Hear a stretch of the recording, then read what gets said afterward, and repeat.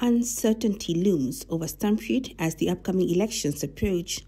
Residents abstaining from elections points to ongoing challenges with service delivery in services such as potable water, sanitation, electricity, and inadequate infrastructure as reasons for not voting.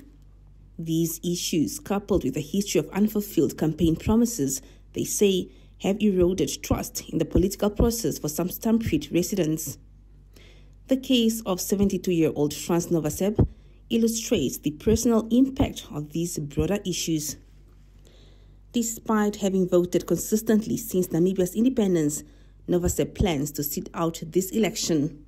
His decision stems from frustrations over his wife's inability to receive her qualifying pension and the lack of drought relief support for his household.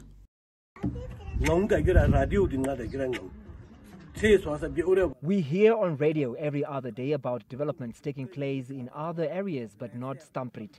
And when it comes to the distribution of drought relief, some households receive full packages while others don't at all. And yet they want people to go vote. As for me and my wife, we will not vote. Despite the doubts that some people have, there are still those who plan to vote, holding on to the conviction that their participation in the democratic process will bring about positive change or at least help maintain a voice in matters that affect their future.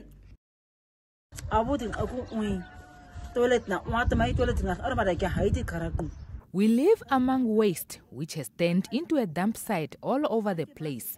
There are no toilets, and we have to use the bush to relieve ourselves as well as the children, and it's not safe for us. But I will vote in hopes that it makes a difference but my vote remains my secret. Residents say as the election approaches, the decision to vote or abstain is not just a political one, but it is deeply tied to the residents' broader sense of trust in the institutions and systems meant to serve them. Siamantikwa, NBC News.